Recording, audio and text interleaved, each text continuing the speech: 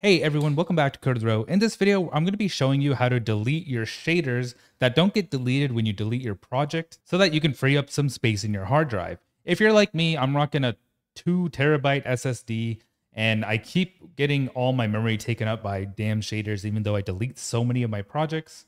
So even if I go to my Unreal projects and just delete a few, it barely frees up anything in my local disk C. So in order to actually delete shaders, you're just going to head into your C drive or wherever Unreal Engine is installed. And then you are going to go to users and then your username. And then you're going to go into the app data. And if you don't see app data, you actually need to make it visible. And in order to do that, just head over to view if you're on Windows 11 and then under show, make sure that hidden items are checked. And now I can see this app data over here. Double click into that and then go into local. And then I will look for Unreal Engine. And now in Unreal Engine, you can kind of go into each folder. So for example, I don't know why I have 4.26 and 4.27 here. I guess I haven't I haven't deleted these in quite a while, but you can head over to your common and what you want to delete is this derived data cache.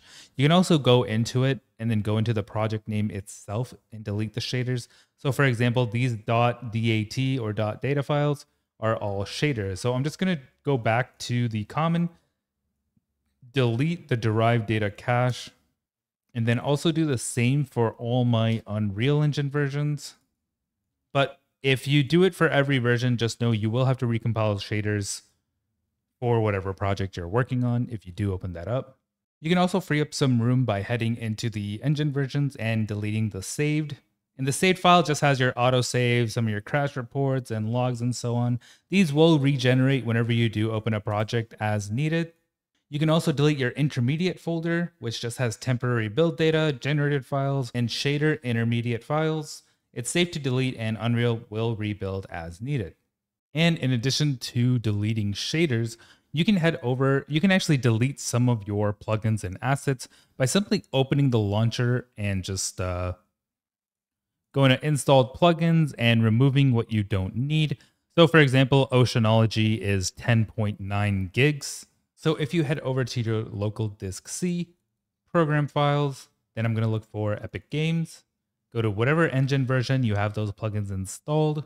So let's go to 5.4, for example, and then look into engine and plugins. And then in plugins, there will be one called marketplace. And this is pretty much where a lot of your files will probably stay, which you can simply remove from this list as so.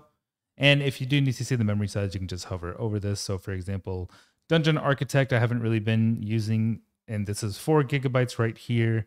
And then I don't know what this is, six kilobyte thing. So let me just go ahead and get rid of that. And I'll just go here and remove these, remove these.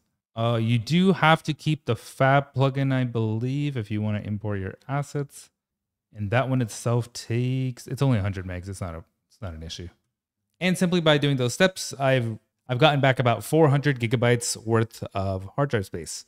Thanks for watching Code. Like, subscribe, comment below what you want to see next. I'll see you in the next video. Thanks for watching.